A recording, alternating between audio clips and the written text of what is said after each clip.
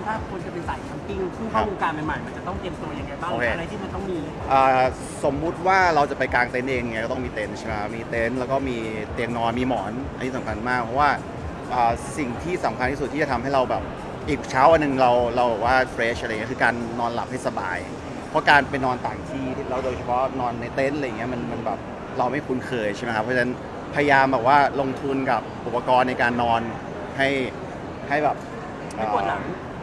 ให้แบบสบายอะครับให้ให้สบายต้องมีฟูกที่ปูนอนด้วยอะไรเงี้ยครับ คือแนะนำว่าแบบถ้าเกิดใครพอพอที่จะแบบมีกำลังนิดนึงก็ไปแนวแกลมปิ้งแกลมปิ้งนิดนึงอะไรเงี้ยเราได้มีโอกาสไปเรียกว่าไป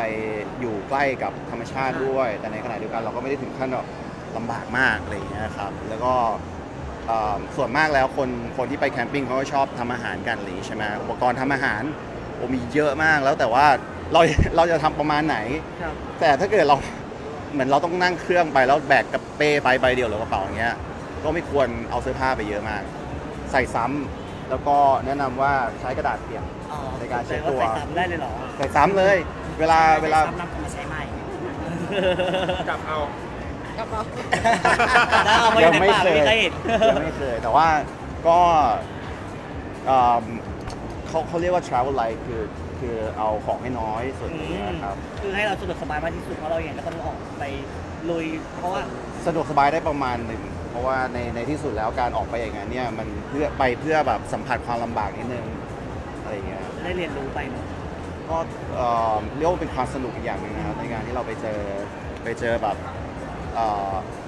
คอมฟอร์ทโซนอีกแบบหนึ่ง อะฝากก่อนนะครับสำหรับแฟนๆที่ชื่นชอบอะไรอย่างงี้มาดูมาโอ้ยก็สามารถมาที่งานนี้ได้เลยนะครับ มีทุกอย่างจริงๆแล้วก็ผมก็เป็นหนึ่งในคนที่เรียกว่ามาหาที่นี่บ่อยมากมาหาที่นี่บ่อยตลอด เพราะว่าเอิ่มคือคือเวลาใครที่อยากเริ่มในการออกเดินทางแคมปิ้งอะไรอย่างเงี้ยการที่มีช้อยส์การที่มีเอ่อตัวเลือกเยอะๆยังไงมันก็ทำให้เรานึกออกได้ดีกว่า ก็แนะนำเลยครับมาที่นี่เลยครับอะทำอัปเดตเรื่องบ้านหน่อยครับเป็นยังไงครับบ้างก็เห็นมียูทูบเบอร์เพื่อนๆไปเปิดบ้านหลายคนแล้วเนาะยังยังไม่มีล่ายังสุดไม่ไปมีบางแก้วใช่ไหมครับอ๋อ ไปเยี่ยมบ้านไปไปเที่ยวเล่นอ้าวเหรอาแต่เห็นไปเป็นที่ยวล่ทำยูทูบยูทูบลง อ้าวจริงเหรอเหมือนยังยังยังเขาอืมเอ่อเขามาเหมือนกับว่าเหมือนหลังจากที่คอนเสิร์ตเพิ่งเพิ่งจบไปก็เลยชวนกันมาแบบเอ่อนั่งกินข้าวคุยกันอะไรอย่างเงี้ยใช่ครับ บ้านเป็นยังไงบ้างครับ เราเห็นก่อนหน้านี้ก็ หนักอยู่ ที่ที่เป็นข่าวไปใช่ไหมคือเออคือคือตอนนั้นเนี่ยเราเราอะทำบ้านอยู่มันมันจะมีบ้านสองหลังอยู่ข้างในพื้นที่ใช่ไหมแล้วเอ่อบ้านหลังเล็กเนี่ยที่ที่เห็นภาพที่คนดูว่าโสมๆกันใช่ไหมครับคือบ้านหลังที่เราอยู่อยู่มาประมาณปีหนึ่งเลย แล้วก็พอบ้านหลังอีกหลังหนึ่งเสร็จเราก็ย้ายขึ้นไปอยู่ แล้วก็เลยเรียกว่าเรโนเวทใหม่อะไรอย่างเงี้ยครับพอต้อง ต้องต้องขอบคุณทุกคนนะครับที่กระจายข่าวไปทำให้ให้เขาให้มีสปอนเซอร์เข้ามาบอกว่าอยากจะช่วยบอกว่าเอ่อซ่อมแซมให้ เพราะว่าหลาย ๆ เจ้าที่ที่เข้ามานี่คือเขาด้านด้านนี้โดยเฉพาะด้านการแบบว่าซ่อมแซมโดยเฉพาะซึ่งซึ่งเราก็ไม่รู้เราเราไม่เคยมีแบบว่าความรู้เกี่ยวกับเรื่องนี้เพราะว่าปกติเวลาทำบ้านทำอะไรอย่างเงี้ยเวลาเราใช้ช่างคนไหนเราก็จะใช้แค่คนนั้นไปเรื่อยๆใช่ไหมแต่แต่พอเรารู้ว่ามี service ที่แบบว่าเขาสามารถรับเอ่อ ซ่อมแซมด้วยอย่างเงี้ยก็ chill เลย เพราะว่าผมว่าสำคัญมากนะเวลาซ่อมแซมบ้านเนี่ยเราให้เราคนต้องให้โดยตรงมีบริษัทที่ที่เราเชื่อใจได้ใช่ไหมครับ แล้วก็เหมือนกับเขามีเขามีระบบการทำงานที่ค่อนข้างแบบว่าเป๊ะอะเพราะว่าหลาย ๆ คนนะผมเจอไม่ใช่แค่ผมด้วยหลาย ๆ คนคืออาจจะเคยเจอเหตุการณ์ที่บอกว่ามีปัญหากับอ่าผู้รับเหมาหรืออะไรอย่างเงี้ยซึ่ง service เหล่านี้ผมว่าดีมากดีมากลองไป search ดูอย่างคิวช่างอย่าง หลายๆเจ้าเลยหลายๆเจ้าเลยบ้านเราก็เลยเสร็จเร็วทันที หลังจากที่เจออันนั้นไป เร็วมากครับเร็วเร็ว เร็วแบบว่าไม่ต้องรอเลยแบบว่าเออสองวันหลังคาเสร็จเลยครับอืมเอออย่างนั้นตอนนี้เลยังยเหลืออะไรเพิ่มเติมไหมครับในการตกแต่งเพิ่มเติมหรือว่ายังมีอะไรที่เราอยากจะทำเพิ่มหรือว่าอันนี้คือพเราให้ผมบอกบอกได้เลยผื่ครับจะได้เลยครับเผื่อมีมีมีเดี๋ยวจะมีเจ้าโซลาเซลล์ที่เขากำลังเขากำลังจะมาติดตั้งให้นะครับ เดี๋ยวไงฝากติดตามทางทางยูทูบเขาเหมือนกันนะ แล้วเรื่องการตกแต่งบ้านเนี่ยค่ะครัเราบเราเน้นห่วงจุ้ยไหมอะไรไหมอย่างเงี้ยค่ะเพราะบางคนส่วนใหญ่ในการตกแต่งบ้านคือเคสอะไรแบบเคสบ้างอะไรบ้างห่วงจุ้ยก็ไม่กล้าให้สินแสเข้ามาเลยครับเขากลัวโดนทำใหม่กลัวโดนโดนแน่นอนเออโดนแน่นอน คือเอ่อเราเน้นเอาหลักเอ่อธรรมชาติก่อนคือทิศทางลมเราหันบ้านออกไปทิศทางใต้ เพราะว่าเป็นประเทศเรามันจะรับลมช่วงทางทิศใต้บ่อยเยอะที่สุดอะไรอย่างเงี้ยครับแล้วก็ ทิศทางแดดอะครับเพราะว่านอกจากเราทำบ้านเราทำสวนด้วย เราก็ต้องการให้สวนของเราเนี่ยมันรับแดดให้มากที่สุดคือส่วนมากก็คิดเองเลยนะครับแต่ว่าแต่ว่าเรามีทีมสถาปนิกนะครับที่ที่เป็นทีมคู่ใจเราเลยที่เขาแบบเขาเขารู้ใจแล้วเขาก็มี thinking คล้าย ๆ กัน คือการที่พยายามที่จะสร้างอะไรที่มันไม่ฝืนธรรมชาติ เพราะว่าบางอย่างบ้านเราจะมีความแบบฝนเยอะแดดเยอะใช่ไหมครับ แล้วเราอยากไปได้หลังคาแคบๆเหมือนสแกนดิอะไรอย่างเงี้ยมันอาจจะไม่เหมาะเลย เราก็ต้องแบบว่าแบบเข้าใจเข้าใจแบบบริบทของของธรรมชาติบ้านเราแล้วก็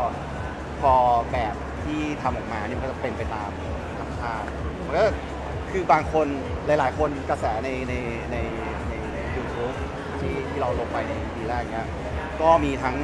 มีทั้งชอบแล้วก็มีทั้งเรียกว่า ไม่เข้าใจ ไม่ไม่เข้าใจอะไรอย่างเงี้ยครับซึ่งซึ่งเราชอบ reaction นี้มากเพราะว่าเราเรารู้สึกว่าสิ่งที่เราทำนี่เราเองก็ยังไม่เข้าใจมากบางทีแล้วว่าจุดประสเรางค์ขก็องไม่รู้ทำยังไงการที่พี่โทรสร้างบ้านอันนั้นขึ้นมา เราอยากเจออะไรกลมกลืนกับธรรมชาติมากที่สุดแล้วหรือไงจุดประสงค์แรกเลยคือเอ่อเรื่องสุขภาพ เพราะว่าอย่างเราเราเรามีเหตุบางอย่างที่ทำให้เรารู้สึกว่าเรื่องสุขภาพเป็นเรื่องสำคัญมาก ซึ่งตอนนั้นคือพ่อของเราเขาเขาเสียชีวิตด้วยโรคมะเร็งอะไรอย่างเงี้ยเราก็เริ่มสนใจเรื่องว่าเฮ้ย ใกล้ตัวมากเลยอะแล้วแบบตอนนั้นเราก็ไม่รู้ก็ก็ก็เลยศึกษาไปเรื่อยๆแล้วรู้สึกว่าสิ่งที่เราอยากทำก็คือการที่มีโอกาสที่อาจบางอย่างเราอาจจะปลูกกินเองได้อะไรอย่างเงี้ยครับอืมบางอย่างเราหาเขาเรียกว่าไงอะก็อยากจะใช้ชีวิตที่เน้นเอ่อสอดคล้องกับการที่ทำไงก็ได้สุขภาพดีขึ้น ครับ ก็เป็นทั้งสุขภาพกายแล้วก็สุขภาพใจด้วยนะครับแล้วตอนนี้กี่เปอร์เซ็นต์แล้วที่เรามองบ้านเราอะไรอย่างเงี้ยหรือว่ามันก็ขึ้นหน้าไปเยอะแล้วเพราะเห็นก็อยากเข้าไปอยู่แล้วใช่ปะ ใช่ใช่ใช่อืมตอนนี้แทบแทบจะร้อยเปอร์เซ็นต์แล้ว100%ก็เหลือแค่แบบตกแต่งมันเป็นสิ่งที่เราอยากชอบอะไรอย่างเงี้ยเนาะตอนนี้ก็เอ่อมีบางส่วนที่ในอนาคตเราจะเอ่อเพิ่มเติมนะครับ เข็ดไหมในการสร้างบ้านไม่เลย เจอเพราะมันเจอเรื่องเจอมีการโครงการฟ้องอะไรอย่างเงี้ย โอ้ผมผมรู้สึกว่าเป็นประสบการณ์ที่ดีมากในในชีวิตคู่ของเรา เพราะว่าเอ่อเราได้เรียนรู้อะไรเยอะมาก นอกจากเรียนรู้จากสถาปนิกที่เขา ที่เขามาช่วยเราออกแบบให้แล้วเขาก็เหมือนเขาเขาเป็นคนเก่งเขาเวลาเขาอธิบายให้เราเข้าใจหรือเราสามารถไปดัดใช้ในในเรื่องอื่นๆได้ด้วย เพราะว่าสตรัคเจอร์ในการคิดของเขาเนี่ยค่อนข้างน่าสนใจมากแล้วก็เรียนรู้ในเรื่องของการประนีประนอมคอมไมซ์กับกับสถานการณ์ที่เกิดขึ้น แล้วก็แต่ละอย่างสมัยก่อนเราเป็นคนรีบอะครับรีบเอิ่มใจร้อนใจร้อน แต่พอทำบ้านอย่างเงี้ยมันก็มันก็ หมือนกับว่าเราจำเป็นที่จะต้องเข้าใจมันแล้วก็รอบ้านแล้วเรื่องขนมคดีก็คือไม่ได้มีปัญหาหรอกพี่หรือว่าก็ต้องรอเอิ่มไม่ไม่ไม่ไม่เราเรารู้สึกว่าไม่ไม่ใช่สิ่งที่ไม่ใช่สิ่งที่เราอยากอยากจะไปโฟกัสตั้งแต่แรกอยู่แล้วเพราะเพราะเราก็มีมีเพื่อนมีอะไรที่อยู่ในวงการการก่อสร้างการอยู่แล้ว เราก็รู้ว่าซิสเต็มอะไรเป็นยังไงอยู่แล้วก็สิ่งที่เราทำได้ดีที่สุดในตอนนั้นก็คือ พยายามหาทีมที่เขาพร้อมที่จะเข้ามาsupport หรือเข้ามาช่วยทำต่อให้มันเสร็จเท่านั้นเองเรารู้สึกว่าสำคัญสุด แล้วมีแผนทำคือบ้านใหม่ในแบบว่ายังไงครับตัวพี่โทก็ยังยังยังไม่มีแต่ว่าก็ดูดูอยู่อยู่ อย่างอย่างที่เธออยู่ของธรรมชาตินะเราเราได้อยู่จริงมันแฮปปี้กว่าตอนที่อยู่ในเมืองทางเรารู้สึกเราก็คนเมืองนะครับเราก็ เราก็ไปไปมามาแล้วก็ทำงานอยู่ในเมืองด้วยอย่างเงี้ย แต่ว่ามัน เราไม่ได้ถึงขั้นแบบว่าเข้าไปอยู่ในป่าขนาดนั้นหรอกภาพที่เห็นอาจจะเป็นอย่างนั้นแต่ว่าสถานที่จริงๆอะก็โอ้เสียงรถอะไรก็ยังวุ่นมีเหมือนวายเดิมแต่แค่ในบ้านมันดูเป็นธรรมชาติใช่แต่เราเราแค่ไปเรียนรู้วิชาที่ที่เกี่ยวกับการเอ่อสร้างบ้านด้วย แล้วมีธรรมชาติด้วยทำไงให้มันรอด เพราะเราเชื่อว่าหลาย ๆ คนลองปลูกไม้กระถางอะไรก็ตายหมดถูกต้องไหมเราก็เป็นหนึ่งในนั้น เราก็รู้สึกว่าเฮ้ยเรามือร้อนปลูกไม่ได้หรอกอย่างเงี้ยแต่พอเราไปเรียนรู้จริงๆอะ แล้วเราเริ่มปลูกได้ มันเริ่มโตอย่างเงี้ยเรารู้สึกว่ามันเป็นกำลังใจ จากเมื่อก่อนเราเหมือนเราเราเป็นคนขี้เบื่ออย่างนี้ใช่ไหมแต่พอเราอยู่กับการได้เห็นพวกนี้มันเจริญเติบโตอยู่เรื่อยมันแตกใบใหม่อะไรใหม่ เรารู้สึก